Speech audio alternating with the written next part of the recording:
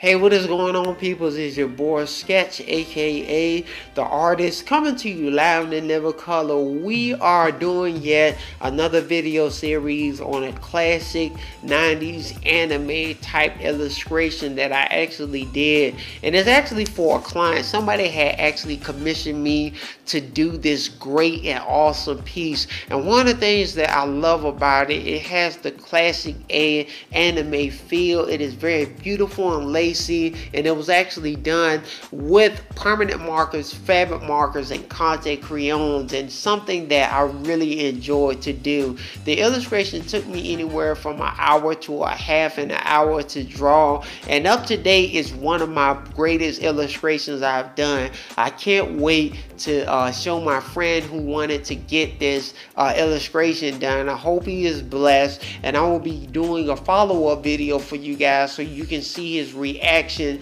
on this awesome, awesome piece. This is something that took time to do. And like I said before, I'm getting back to my roots as an artist and doing more traditional art. If you guys are liking the content so far, please don't be a stranger. Check down on the links below. Like and subscribe to my Faithblade page, and that's going to be it. Thank you guys so much for tuning in. It's your boy Sketch the Artist saying back on the grind. Y'all be blessed. Deuces.